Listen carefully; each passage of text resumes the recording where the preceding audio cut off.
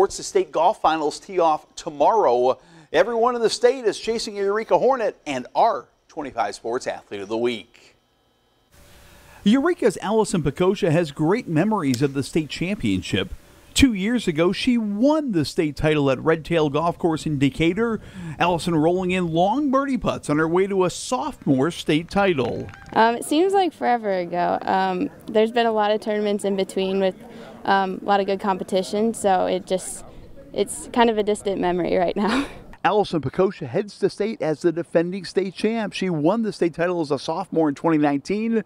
No state finals her junior year. She's back to defend this weekend. Um, I'm super excited. I love Decatur and I love the state atmosphere, so I'm looking forward to seeing how this year goes. I think a couple rounds under par or just going as low as possible. I'm trying not to put a score into my head and just kind of keeping with my low score as I have been in the past.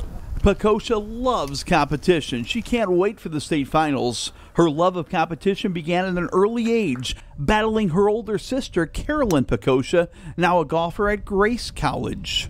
I think she's always been kind of that competition factor, like, oh, I always have to beat my sister, and it's kind of allowed me to stay competitive even when I'm not playing with teammates or other girls. Allison's a proud little sister, a defending state champ, and tonight she's also the 25 Sports Athlete of the Week. High school sports. Our high school sports coverage has just started. 25 Sports Prep Rally is right after this newscast. 30 minutes, all high school sports. Don't turn that channel. Well, for tonight's Jim Dandy,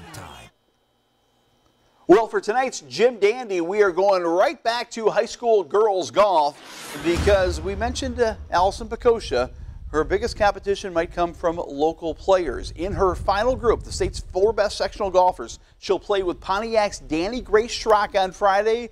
She'll also tee up tomorrow with IVC's Elaine Grant. Three of the top four golfers in the state, all from Central Illinois, all playing together. That's pretty cool, and that's your Jim